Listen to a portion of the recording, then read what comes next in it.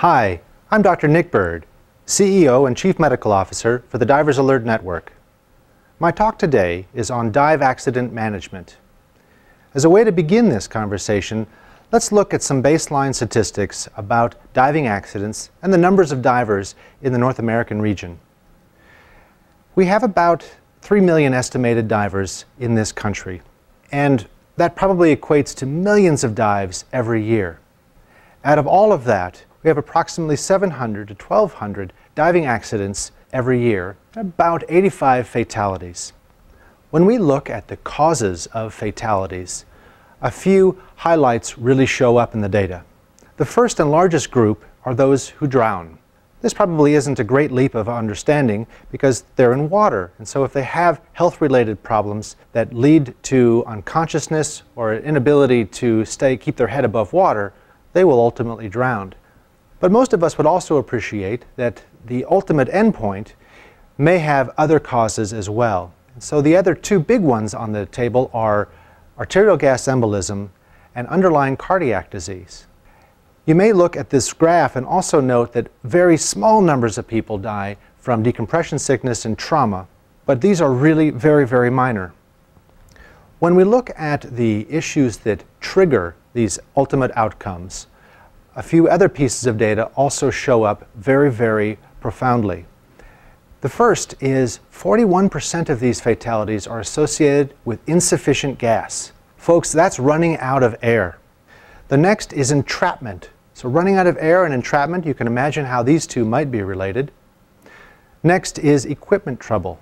Most of us would like to consider that probably the operator's problem with equipment rather than the equipment failing per se. A common theme with all of these, except for cardiac disease, is operator error, which means that our personal dive practices have almost everything to do with these negative outcomes of diving-related fatalities. When we look at cases of decompression sickness or decompression injury, there are some other great data that we've received from our Project Dive exploration. When we look at all divers across the spectrum, the rates of decompression illness are about two to four cases per 10,000 dives. When we drill down and we separate groups by types or, of diving or areas of diving, we get some other interesting results. The first group are uh, amongst warm water liveaboards, and their rates of decompression sickness are even lower at 0 to 2 cases per 10,000 dives. The other group which is an interesting comparison, is in the North Atlantic above Scotland in Scapa Flow, and these are deep technical dives, so a very different type of diving as well, and their rates jump up to 10 to 12 cases per 10,000 dives. So let us then move on to underlying issues behind diving related injuries, which are related to pressure changes. So let's talk a little bit about pressure. Pressure, as a unit of measurement, is a weight per unit area. And in at least North America, one of the most common measurements for pressure is pounds per square inch. When we think about that, I would like to give you an image, and it is a square inch column of air that extends from sea level to the edge of the atmosphere. That is about 10 miles of useful pressure. Now here we are, we're living, breathing, walking, talking in this air pressure all the time, and we don't really think about how heavy that air really is. Because if we take that square inch column of air and we were to put it on a scale, it would weigh 14.7 pounds. That is atmospheric pressure on Earth. So that's relative to Earth's atmospheric pressure. When we then relate what happens to us or what happens to gas as we increase pressure, we have the entry of Boyle's law. And this slide is using the model of a pufferfish, which I happen to enjoy, as a model for an airspace. In this case, let's say a lung. So if we have a neutral lung volume there at sea level, which is the biggest pufferfish on the slide, and we take that down to two atmospheres, or double the individual atmospheric pressure, which we see at 33 feet, or if you're using the metric system, 10 meters, the volume will be cut in half.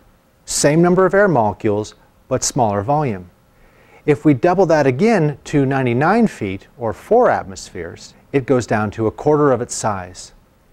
One of the things I love about this slide is the predictability of Boyle's law. So as we increase the pressure to numbers of atmospheres, let's say 10 atmospheres, we can anticipate that the volume will be cut by to one-tenth of its original size. That's pretty amazing. 10 atmospheres, one-tenth. Those numbers relate. So it doesn't matter how deep you go, that relationship maintains. Now, that's important to us as scuba divers because we're not usually breath holding going from the surface down. We're actually breathing underwater. And this is a very important point. So if we start out with a neutral lung volume, which I'm noting here as a times 1, indicating just times 1 our normal chest volume. If we increase the pressure around us by 2, i.e. we go down to 2 atmospheres, that volume would be cut in half, just as we said before. But when we're breathing, our lung volume, our, the size that, it, that our lungs take up, remains the same. But how? So how would we get that same volume, which would normally be cut in half, back up to its normal size? We breathe twice as many air molecules per breath. So at 33 feet, or 2 atmospheres, per breath, we're moving twice as many air molecules. At 3 atmospheres, or 66, we're moving 3 times as many air molecules. And at 99 feet, we're moving 4 times as many air molecules per breath. Just as the previous slide, this relationship would go down to 100 atmospheres. We would be breathing 100 times the number of air molecules per breath, whatever gas mixture we're breathing. This is important because when we talk about the potential of uh, absorption of this gas, you can appreciate that our rate of absorption is going to increase with the number of air molecules that we're breathing. On the other side, if we were to be down, say, at 99 feet, and we have a normal lung volume at that point, but we know that we're breathing, we've got four times as many air molecules at our lungs relative to the surface. If we held our breath, our lung size would double if we went from 99 to 33 feet. And it would double again if I had a larger slide I could show you this to four times its original size. And as you might imagine, our lungs can't accommodate that level of stretch. And what happens? We have what's called pulmonary barotrauma. Pulmonary meaning lungs, baro meaning pressure, and trauma meaning tissue damage. So we have lung tissue damage relative to pressure changes. So our lungs stretch to the point where they would break or tear. And that will lead to potential escape of air where it shouldn't be. This is an important issue to talk about because as we talked about in one of the early slides, fatalities are related to air embolism and an embolism is a moving blockage made of air. There are other sources of emboli that could include blood clots or cancer or tumors, but in this case, these focal bubbles can go to areas of the brain or areas of the spinal cord and cause real neurologic damage. And it doesn't take much pressure difference to cause this. It's also important to remember that our other air spaces, like our middle ear space, that we have to equalize to adjust, can have trauma or damage to it in as little as a few feet. And the most common range of these issues happens in the first 10 to 15 feet of seawater. Our next law is Dalton's law. And Dalton talked about the fact that the entirety of our atmospheric pressure is the result of the parts of the different gases that make it up. So in the air that we breathe, about 21% of which is oxygen and 78% is nitrogen, that means that the total pressure, or that 14.7 pounds per square inch, 21% of it is from oxygen and 78% of that pressure is from nitrogen. For those of you who like learning aids, I think about this as Dalton's gang. So Dalton's gang, if you think of a posse or a group of guys on a horses, the gang is made up of multiple parts, and those multiple parts make up the whole. Our next law is Henry's Law. And Henry is a personal favorite of mine, not only because Henry is responsible for the creation of carbonated beverages that we all enjoy so much, but it is also why or, and how we use hyperbaric medicine to affect change. So these gas laws are not only important from us or to us from the standpoint of causing potential injury in the form of decompression illness or sickness, but also in the way that we use these gas laws for therapeutic benefit. Henry's law describes gas going into solution, and the greater the pressure of that gas above a liquid will increase the amount of gas that goes into that liquid in a very proportional and predictable way. It doesn't happen instantaneously, but it ultimately will happen. So if we go back to our previous slides where we were breathing, say, twice as many air molecules at two atmospheres, that's twice the amount of gas pressure, and that will ultimately put twice as many gas molecules into solution into our blood. So you can now appreciate perhaps that when you're down at 99 feet or four atmospheres and you're quadrupling the amount of gas pressure that you're taking in, you will also ultimately quadruple the amount of gas that will get absorbed into those tissues. So the last law is the law of gaseous diffusion. And this is what explains how gas gets to places from high pressure to those of low pressure. And if that's completely confusing, when we treat people in hyperbaric setting, many patients often ask, so how does the oxygen know where to go? Why does it know where to go to the place that has the lowest supply? And this explains it. So when we have high amounts of oxygen in our blood system and tissue areas that have very low amounts, preferentially, the oxygen will go to those areas where there are low amounts because that creates the greatest diffusion gradient. So if we look at this slide, the, air, the gas molecules travel from areas of high concentration to areas of low concentration until a point of equilibrium is reached. What is wonderful about this law is that it actually works not just for gas concentrations per se, but specific gases. And this is how when we're talking about breathing oxygen at the surface and helping to remove nitrogen that's in our tissues, those two gases can actually change places. And it's a way for removing one and adding the other. Let us now move on to bubble diseases. And bubble diseases is a kind of a soft term for decompression illness. And I include in that decompression sickness as well as pulmonary barotrauma, which can cause arterial gas embolism.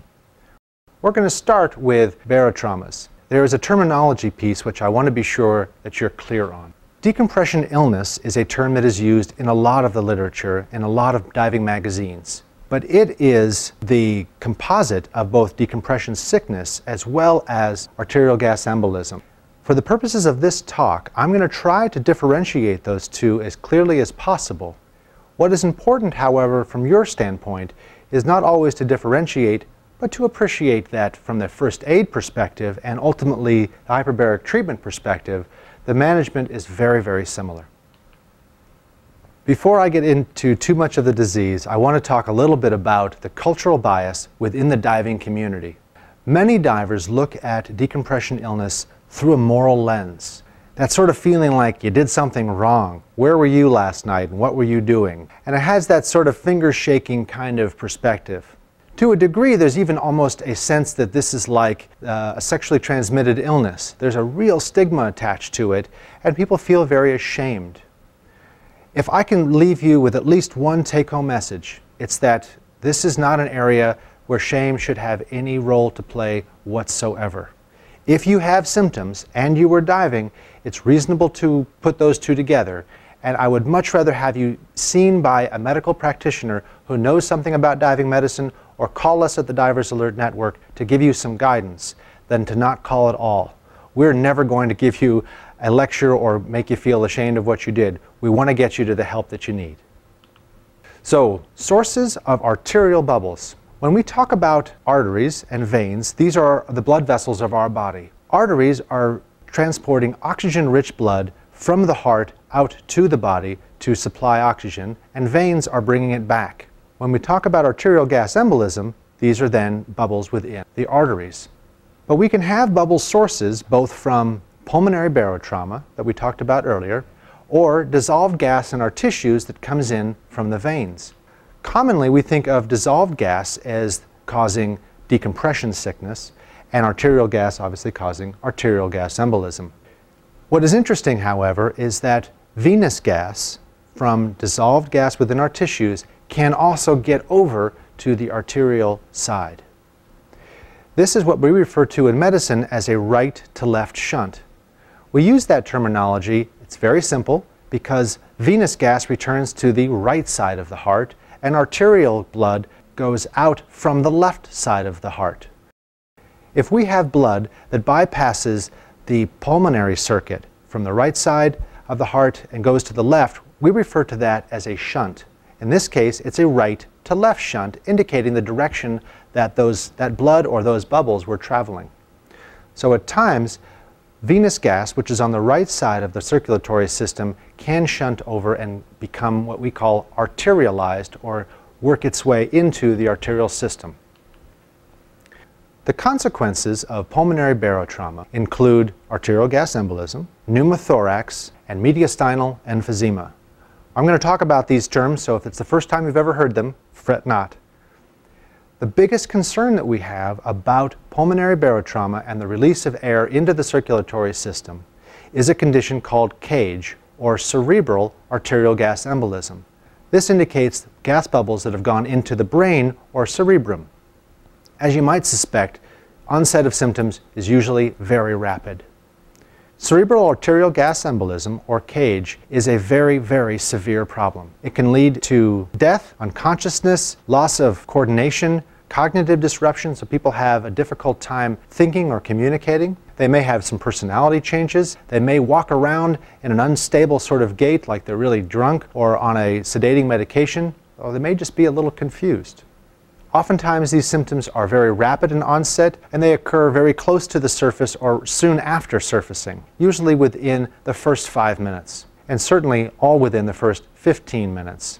And about half of these cases have unconsciousness as part of the scenario. So that you're aware, a very well tried and trod characterization of this clinical scenario is people come up to the surface, they oftentimes will cry out, maybe go unconscious, and a few minutes later will regain consciousness. And they may or may not have recurrent or residual symptoms that last, i.e., that hit their nervous system. If you read the diving medicine textbook of Fred Bove, who is a cardiologist and renowned diving medical expert, in that textbook they relate AGE, or arterial gas embolism, with pulmonary barotrauma. Interestingly enough, however, when we look at chest x-rays or chest CAT scans, we only see radiographic evidence in about half of these cases.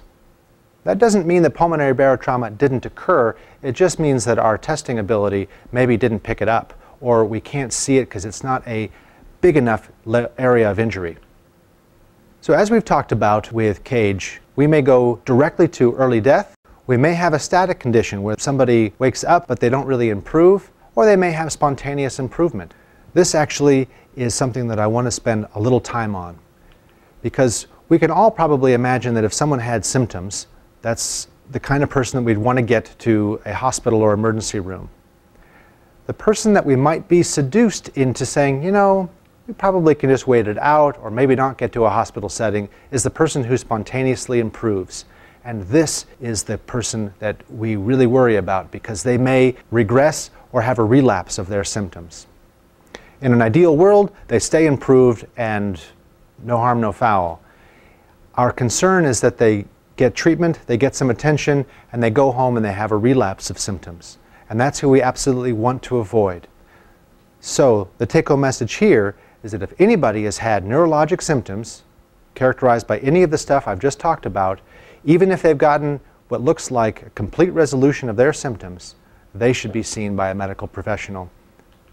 This, in the diving medicine world, is the equivalent of chest pain for emergency medicine physicians. Emergency medicine docs run the risk of liability when they discharge somebody who's had a history of chest pain. This is a big deal in the world of emergency medicine. Neurological symptoms that have spontaneously resolved and not received ultimate treatment are a consistent type of concern for us. And remember the cultural bias. People don't want to talk about the fact that they may have made some sort of error and they will be reticent to come to medical aid when they really could use it. So a few things about treatment, because many people look at all things diving related should get to a hyperbaric chamber, and I want to delineate a little bit of this for you. So when we start, pulmonary barotrauma, all by itself, does not necessarily result in cerebral arterial gas embolism. And that may sound a little bit confusing because I've just spent some time talking about this. But there are other causes of pulmonary barotrauma that have no neurologic consequences almost all the time. And those might include trauma, people who have car accidents, gunshots, knife wounds, and have a collapsed lung, which we'll talk about in a second, or a pneumothorax, don't go on to have neurological symptoms and therefore don't require hyperbaric oxygen therapy.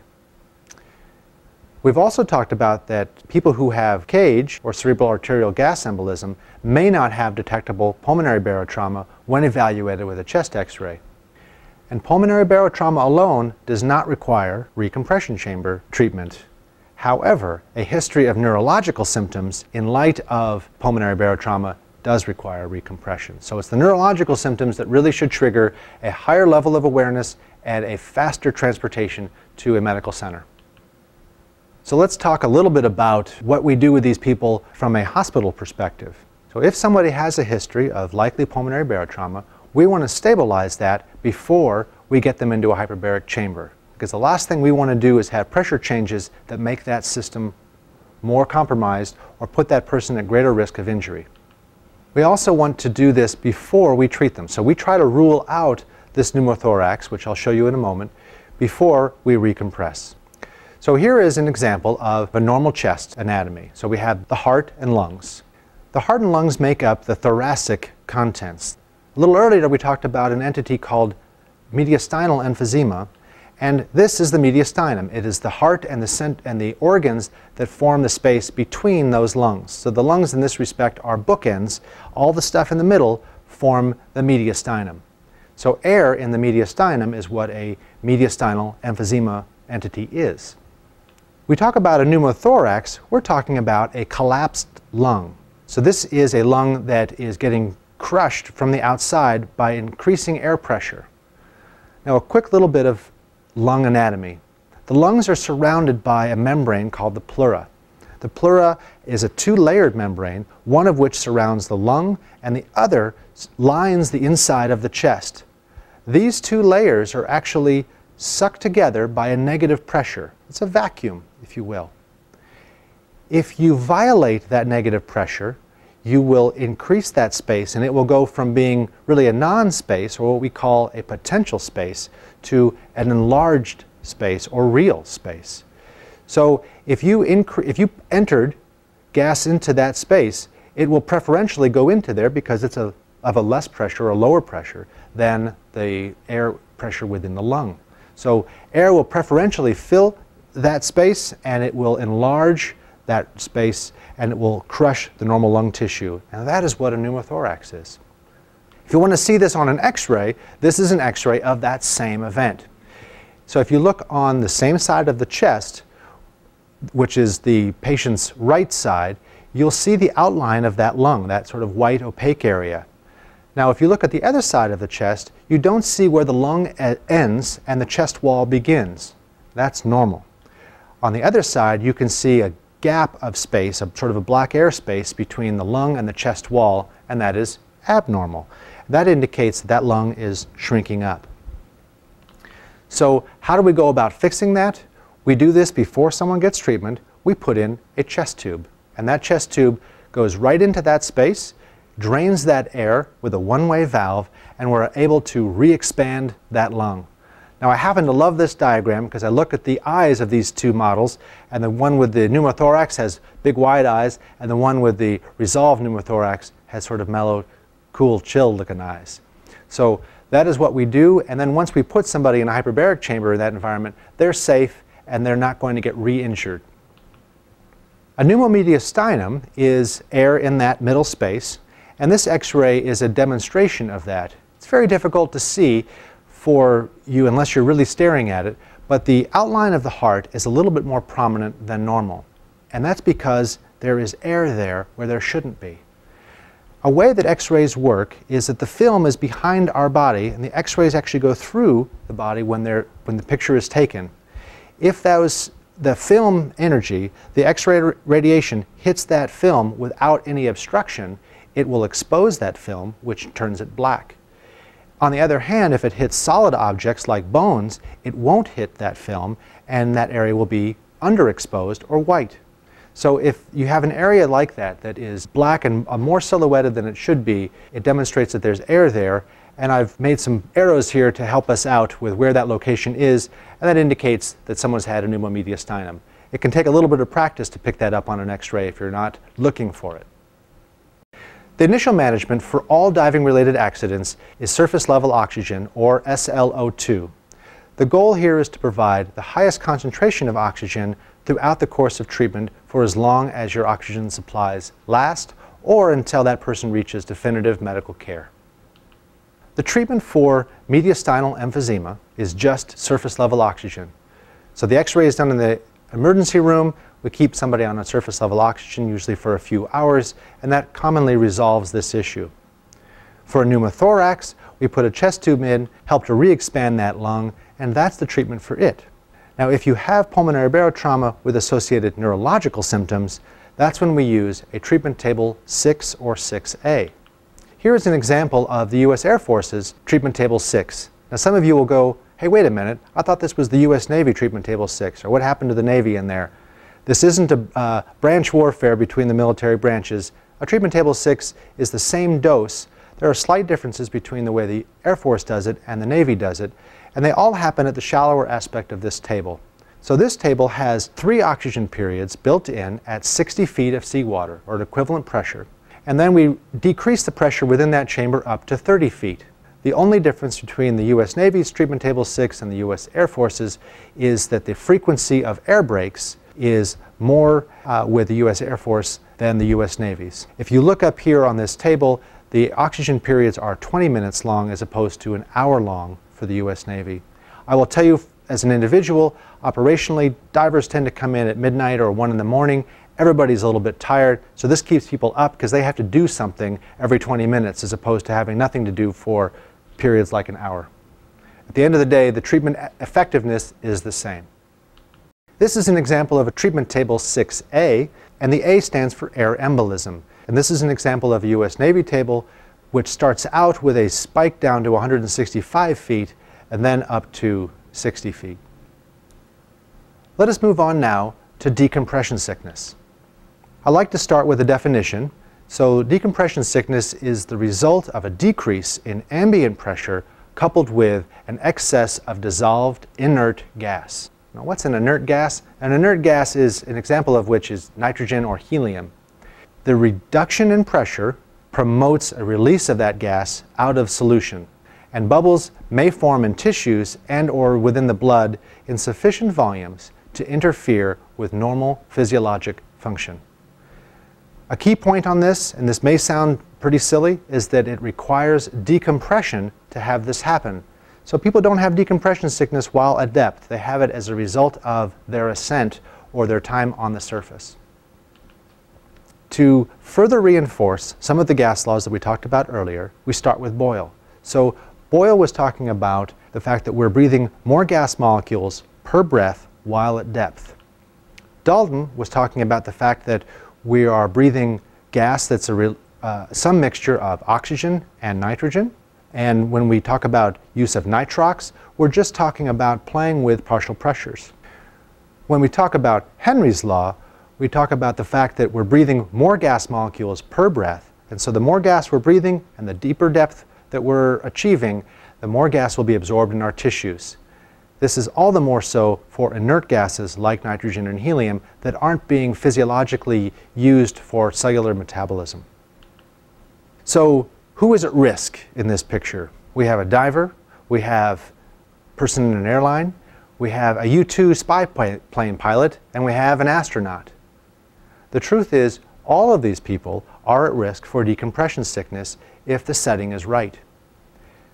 We all know about divers, but certainly U-2 pilots are at risk for decompression sickness. They fly at such high altitudes, and certainly so are uh, astronauts and normal travelers who are flying soon after diving are also at risk. This is one of the key slides in this presentation, and it lets you understand how we as diving medicine physicians diagnose decompression sickness. It may be sobering to realize that there is not a test or definitive study that I can run to diagnose decompression sickness. So the first part of it is history of a provocative dive. This is a dive that pushes the limits of your decompression tables. The next is the proximity of symptom onset to the dive. So did your symptoms come on 20 minutes later or did they come in 20 days later? And the last is what are your clinical signs and symptoms? If, as if, for instance, you come down with clinical signs and symptoms of malaria, that's a little different than signs of decompression sickness. So you're trying to put all of the right pieces in the right box together. If you're lucky, you'll have elements of all three of these to really help reinforce the accuracy of your diagnosis. In the real world, I'm usually happy to get two, and the latter two are the most important. When you as a primary uh, or first responder talk to somebody and then call somebody like DAN or talk to your physician in the hospital, there are usually some pieces of information that we would like to hear. One is the dive history.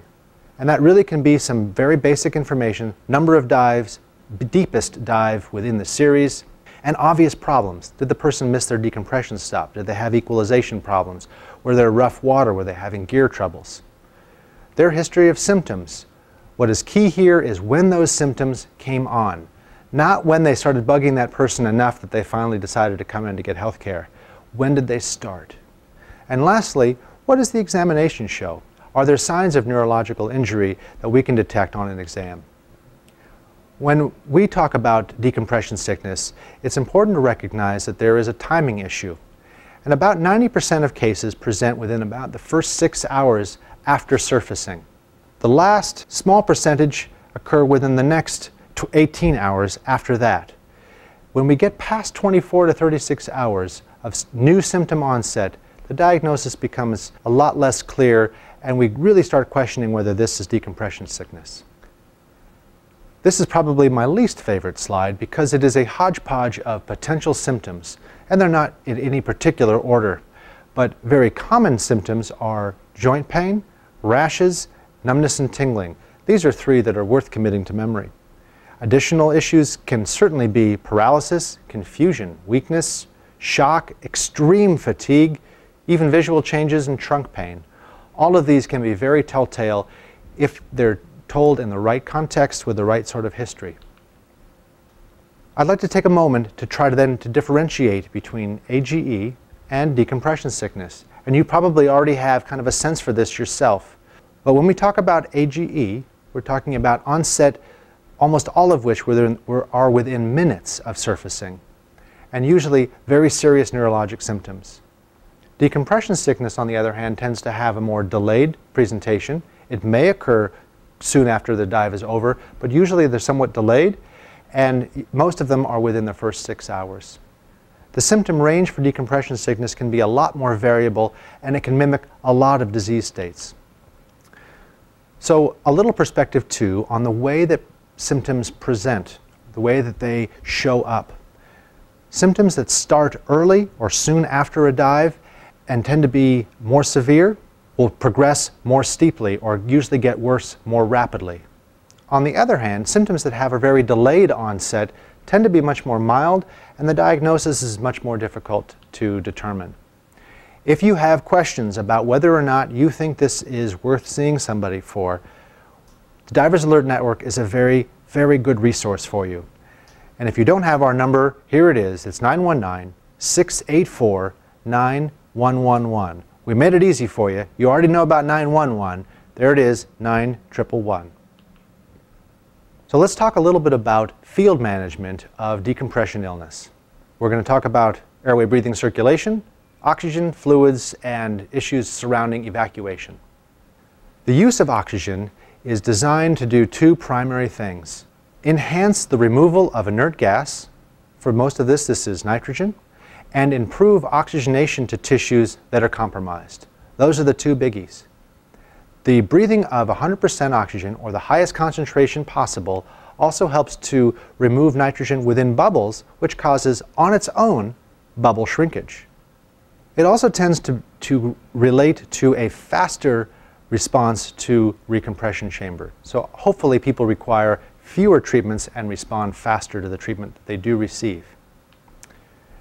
Many people ask, so how much oxygen should I have on board? How long should I give it? Uh, when's enough enough? And the short answer is you got to carry enough of it to provide enough oxygen at the highest concentration possible to sustain that person from where they are to the shore and hopefully to definitive therapy. So if, as if for instance, you're a boat captain or you want to run a charter and you've got about a two-hour boat trip between the island and the mainland, you want to at least have two hours. Consider having a redundant source in case there's more than one patient, and also consider having an additional half hour to hour to pad the time that it takes to get from the shore to a hospital. Ways of increasing the supply of that oxygen include the use of a demand valve. If you don't have that, then you're using a non-rebreather mask starting at about 10 liters per minute flow and maybe ratcheting up to 15 if someone needs it. Or you can be relegated to continuous flow. Just remember that continuous flow masks will burn through your oxygen supply a lot faster. In very severe cases of decompression sickness, people can go into shock which is a medical term for inadequate blood supply to vital organs, especially the heart and brain. As a result, fluid resuscitation, by which I mean especially IV fluids, may be of critical importance and can even be more important in the immediate setting than recompression chamber. So if you're on board and there are people who are medically trained and someone is having severe symptoms, IV therapy, along with surface level oxygen, can be a great way of giving them maximal therapy until they get to a chamber. Fluids can also come in oral form, so you can use IV fluids and also orally rehydrate, which is just drinking fluids. Usually this is in small sips uh, throughout a period of time. You don't want someone to really just overdo it, but using oral rehydration fluids like Gatorade are a great way of giving them not only fluids but some electrolyte replacement as well. So let's talk a little bit about evacuation and when to get somebody else involved. If you see this picture, I include this to demonstrate the use of a portable hyperbaric chamber. This is created by a company called Hyperlite, and it is actually a portable hyperbaric chamber that someone can receive a treatment table 6 in. For most of us, that would be a pretty uncomfortable position because it's a very cramped space. However, it may be a, something of great use in very remote locations. So when you think about evacuations, one of the first things you want to do is involve a knowledgeable person. This is a role that DAN can help to serve for you. We can help to give you guidance as well as local referrals. Try to maintain a higher inspired fraction of oxygen and fluids and transport to the nearest medical facility. If you do nothing else than get that person to the nearest medical facility, that will be a tremendous positive in their life. At the very least, we can get them in the medical system. DAN can be contacted at any time to help guide therapy or to help consult with the treating physicians at that facility. What we really don't want you to do is to bypass the local emergency room to get to where you think they need help, which might be a hyperbaric facility that's 100 or 200 miles away, and you don't even know if they're open. It's best that they get immediate evaluation and treatment and stabilization and let us help to get them to the right place. An interesting question that many people sometimes ask is, is recompression therapy always the first priority? Most of us think about it as, well, absolutely. You got a decompression illness, you got to go to hyperbaric treatment. But sometimes in very remote places, the guidance can be a little difficult because it's not quite the same thing as having the chamber down the street. It may be 36 hours of delay before you can even get a plane or some other transportation to a chamber, and then it may be an additional 36 hours or days before you can get from that piece of transportation to a hyperbaric facility. So with long delays or high-risk travel, hyperbaric treatment in more mild cases may not be as necessary, and we can really focus in on treating it with oxygen and IV fluids. On the other hand, if people are critically ill, they are best served by going to an intensive care unit, getting stabilized there, and then potentially going on for hyperbaric therapy. In an ideal world, you have both intensive care and hyperbarics in one facility, but that doesn't always happen. Again, while you're evacuating, maintain oxygen, try to maintain a horizontal position and low flying altitude levels. Our goal is less than 1,000 feet elevation. If they have any signs of pneumothorax or pulmonary barotrauma, those are best stabilized before they get into the aircraft. This would be done by the medical crew that's there. And also manage urinary outflow. I put this in there because some cases of bad spinal decompression sickness can restrict uh, urinary outflow and people will not be able to urinate or pee. As a result, they may require catheterization so that you can keep on pumping fluids into them on one end and draining them on the other. Recompression therapy. I throw this slide in there to give you a little historical perspective. This is actually the research facility at Brooks Air Force Base, and the chamber in the foreground on the left is actually the chamber used to support the Panama Canal project. So the mechanisms of therapy for hyperbaric treatment include compression of bubbles. So this is pure Boyle's law. The other is to increase the pressure gradient of oxygen that goes absorbed through the lungs, is taken into the blood vessels, and can go out to tissues. So this is a big pressure gradient, and this is Dalton. So we're increasing oxygen concentrations. And last, we will increase, by that gradient, we will push oxygen out to tissues that need it, and that's Henry. So again, I'd like to reinforce the importance and also the synergy of these gas laws. Hyperbaric oxygen therapy has an additional great contribution, which is a modification or reduction in the systemic inflammation that occurs when people have bubble issues. Bubbles can cause a lot of tissue irritation, and if we can knock that down, we can minimize some of the symptoms and downstream tissue compromise that can occur. What's wonderful is that hyperbaric oxygen therapy can affect that change. Hyperbaric oxygen therapy occurs in two types of chambers. The first is a monoplace chamber. By its name, it's one person per treatment. These chambers are commonly pressurized with 100% oxygen, so that surrounds the patient in that facility. Both chamber types are equally effective for the treatment of decompression illness. The other, and perhaps more familiar amongst divers, is the multiplace chamber. By multi, it's more than one patient is treated at a time, and also a staff attendant is always in the chamber with you throughout the entire treatment. When we talk about diving related accidents, it's important to consider the creation of an emergency action plan. What happens when things go wrong? It's good to start with immediate needs, so make sure that person's life is stabilized, airway, breathing, and circulation. If it's a diving related accident, provide oxygen, I should also include here near drowning accidents should also receive oxygen and intense basic life support as well as immediate transportation to a hospital. Consider creating intravenous or IV access and arrange for transportation. You may wonder, how can DAN or the Divers Alert Network help you? We can discuss appropriate pre-hospital care. We can consult with emergency room doctors about diving related issues and help to create a referral network chain between that treating physician and a, a, receiving hyperbaric facility. We can help to coordinate evacuation and transportation, and we can also provide further referrals to facilities, locations, and community physicians. It's also important to know what we don't do. And there are a few things actually that DAN doesn't do. We don't fly our own aircraft. We don't affect rescues. We also can't diagnose over the phone. We can have a pretty good sense, but we're not here to take over medical management of the medical case. When you call us, it's great if we can get the diver's name with the correct spelling and date of birth. If they're a DAN member, it also really helps to get their DAN number. We really appreciate getting a, at least one callback number, if not two, to ensure that we can continue our dialogue, the nature of the accident, and some pertinent medical history.